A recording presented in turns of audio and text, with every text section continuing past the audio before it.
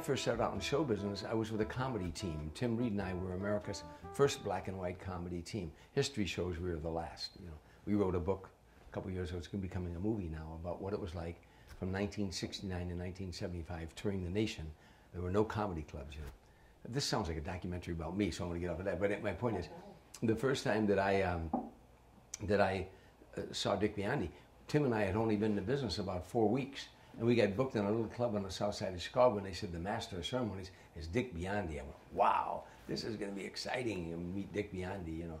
And uh, he introduced us, and Tim and I went out. We all we had was 20 minutes of material, and one of the routines we would do was where I interviewed the first black president of the United States. Now you got to go. This is back in 1969, 1970, you know, and. Uh, so anyhow, we were, you know, Tim and I went, uh, did that routine, and we went back to our dressing room. There was a second show, and we were all excited, and because it went well. And Dick came back and said, you know, he's talking to us, and, and he said uh, something about. He came back later, and it was about 20 minutes before showtime for the second show.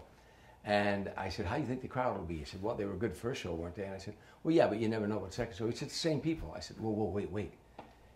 The same people? Dick said, yeah, it's the same people. They're all here. I said, we don't have any more. We did 20 minutes. That's all we had.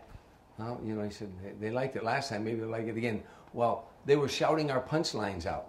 I would ask him a question as, as interviewing the first black president of the United States, and the audience would shout out the, the answer. You know, it was a nightmare. It was by the end of the 20 minutes, Tim and I were sopping wet with sweat. You know, you know what they, what they call bomb sweat. You know, Yeah. but, but Dick was gracious and, and complimentary, and and you know, uh, I wanted to do so well because I listened to him on the radio, and I wanted, and I liked him, so you want him to like you. You know, Yeah.